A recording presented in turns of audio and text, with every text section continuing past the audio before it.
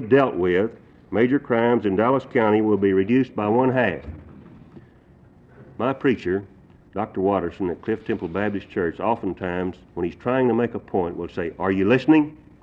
I'm going to plagiarize Dr.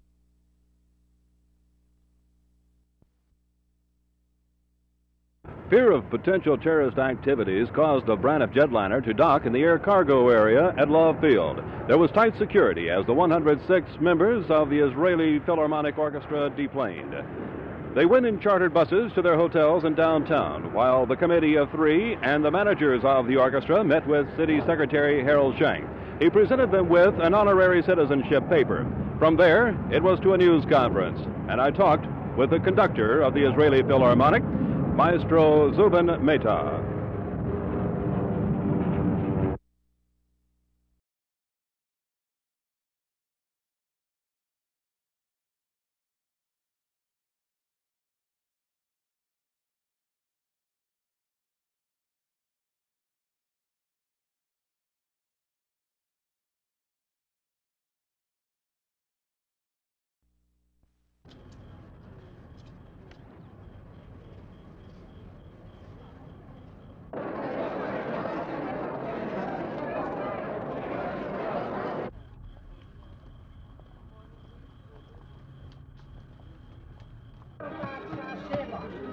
about their activities.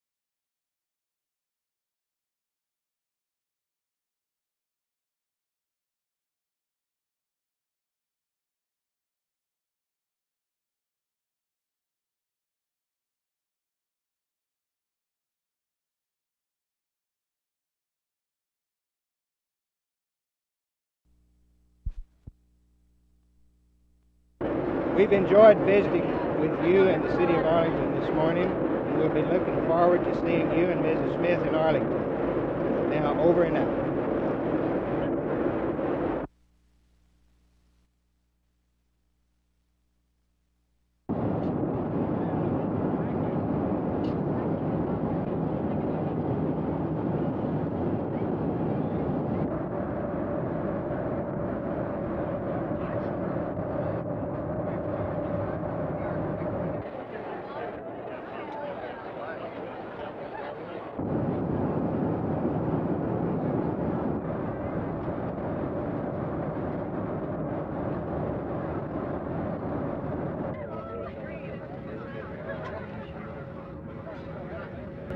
As Mr. McBride said, this is not any time for real serious business for the Chamber of Commerce, but he said if he had his way, he'd held all of his meetings at 747 Braniff Place.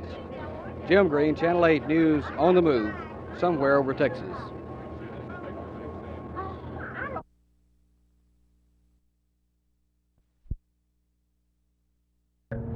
Transporting people from one airline to the other airlines is not a problem at Love Field. That we're back on the airport premises. And a little way ahead on your right, you can see how the contract 15,000 acres of land in the, in the northern portion of this two to your particular gate.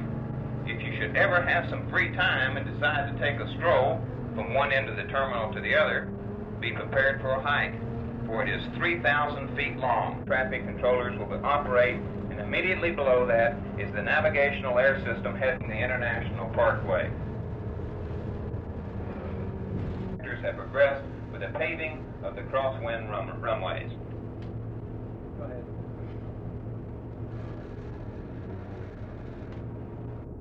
We're using the largest paved I will continue to insist that uh, the North Vietnamese be brought to the court of world opinion as far as their failure to live by the Geneva Conventions. Uh, they are a signature to the conventions. Uh, they have refused to abide by those conventions, and I think it's incumbent upon all of us here in the United States, and I was pleased with the action of the Senate yesterday in insisting uh, that we continue to call them to account for their failure to abide by the Geneva Conventions.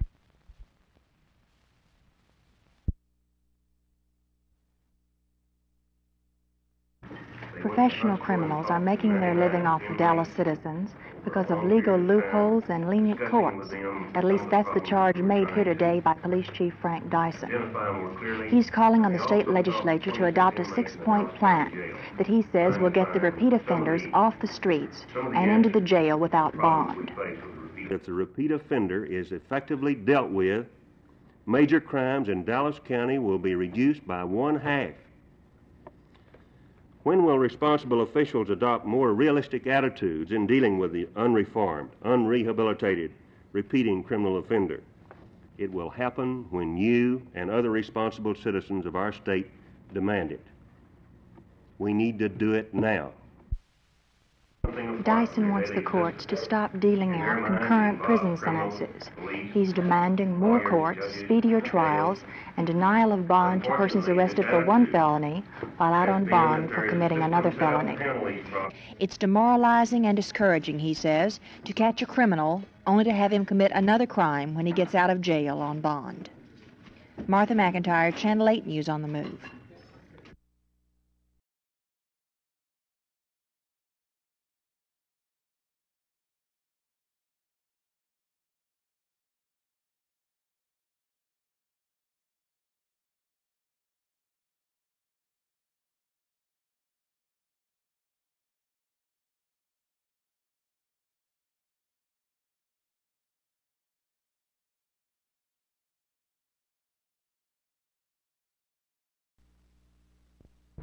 It's right next to the security button. Yes, well, our police will recognize it. Thank you very, very much. You're welcome. Keep the secret. Maestro, you have come to Dallas under uh, circumstances of top security because of uh, the terrorism that has been going on.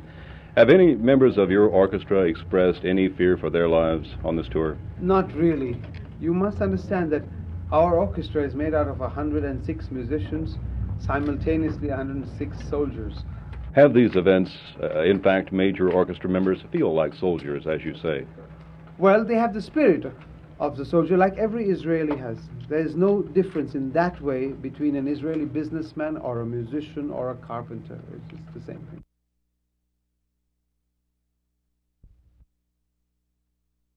A witness in a building about 60 feet from the lumber yard phoned in the first alarm about 11:30 last night. As each firefighting company arrived, they called for more help until less than half an hour later the fire was at four alarm status with 11 pump trucks, four ladder trucks, and 125 firemen, about half of whom had to be called in from off duty. They came to the 1800 block of Park Road in the hospital district on Fort Worth's near south side. What started the fire is not known, but two forklifts, five flatbed trucks, and six buildings, including one mostly of brick and one the size of a football field, were destroyed. H.B. Stuck, president of the Quarles Lumber Company, says he doesn't know yet what caused the fire, and he's not sure exactly how much damage it caused, but he says it could run to $500,000. Jerry Taft, Channel 8 News on the Move on the South Side in Fort Worth.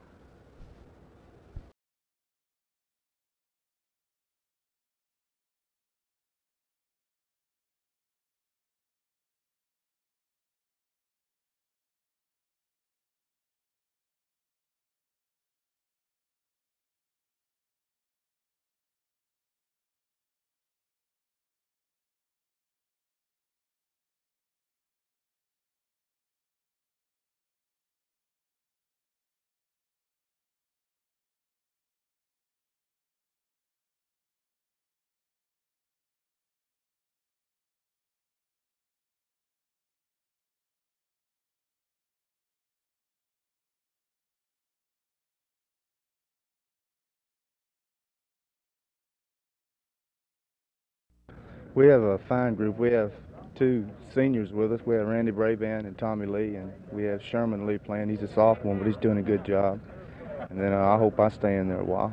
Is there a esprit de corps among the linebackers that uh, other divisions do not have, or does yours equal that among the other divisions of the team? Well, we uh, our linebackers are are going to be our, I guess, our major factor in our defense because we are, you know, we have more experience at that than we have at other positions. You know, it's better, I guess. Say. Do you have a what sort of assignments do you have on different types of plays? Well, all the assignments are just reading your blocks and following the ball carrier. That's making the tackle. That's it. Okay.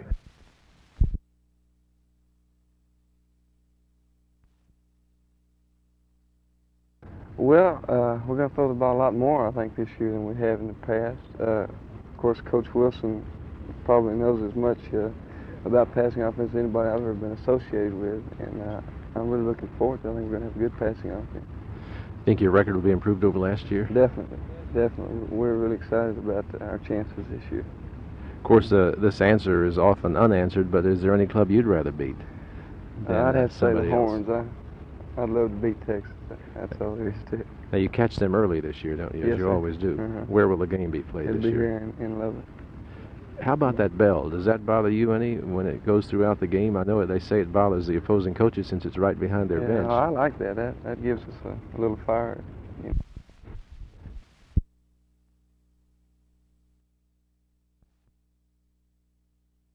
I just try and get people enthusiastic like uh, with skiing, like I do. You know, is to get them all hyped up to, to come do it. And and so when I come to the show, I go through a a series of exercises that I do myself, which on a smaller scale can be applied to people in Dallas.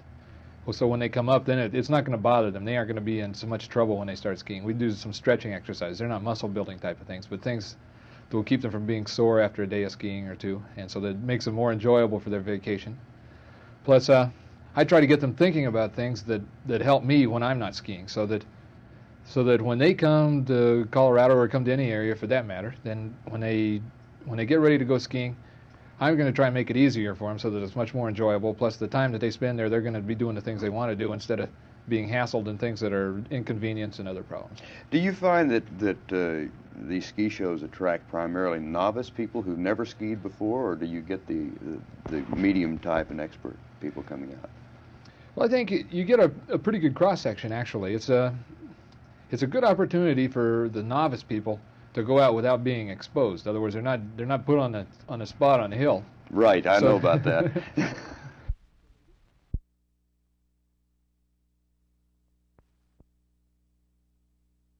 Anyone reading that article, the normal person with using average uh, logic would come to the conclusion after reading that article by Alan Stang that Arthur Bremer was about as much of a loner as Lee Harvey Oswald, and I've only met two people in the last year that believe that Lee Harvey Oswald acted alone.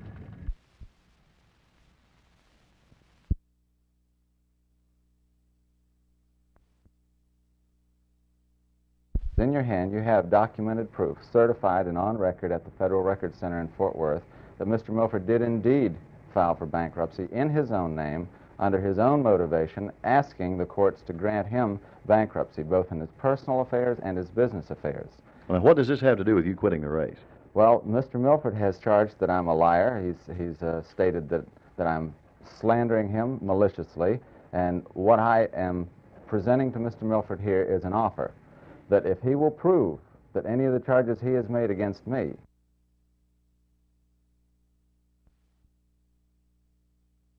we, with the complete agreement of the officials of Lena Pope Home, are making a recommendation to our executive committee that a highly respected and authoritative organization in the field of child welfare, the Child Welfare League of America, be requested to appoint a team of experts to carry out a complete and thorough study and evaluation of the home services.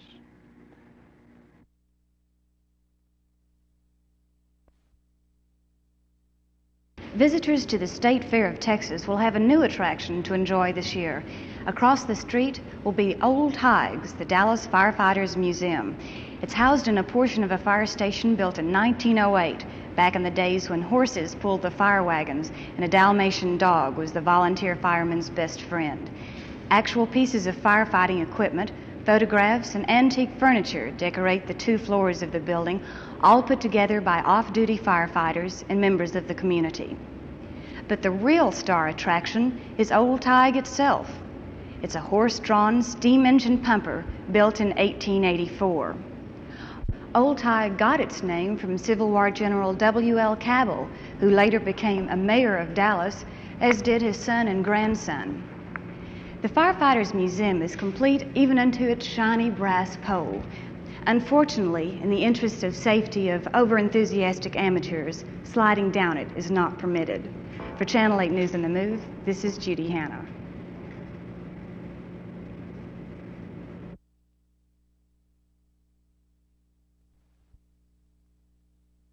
Arlington Chamber President Marvin McBride spent most of the flight on the telephone speaking with Governor Preston Smith and Chamber representatives in Houston, San Antonio, and Waco as we passed over each city. All were invited to visit what Arlington calls the greatest amusement center in the Southwest. 350 persons attended the fellowship meeting aboard a Braniff 747, most of whom paid $35 for the privilege. McBride said the chamber did not make any money, only enough to pay the $7,000 tab for the flight. Everyone was served eggs benedict and champagne, even Bob Gooding. National coverage of the unique meeting is expected through members of the U.S. Chamber of Commerce who were aboard and Braniff's publications. The high in the sky promotion should result in thousands of extra dollars for the Arlington Mid Cities area tourist complex.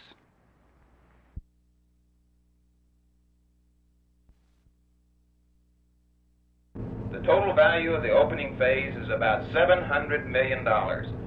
The facts and figures on the Mammoth Regional Airport sound different when you're there inside the fence looking at the airport itself.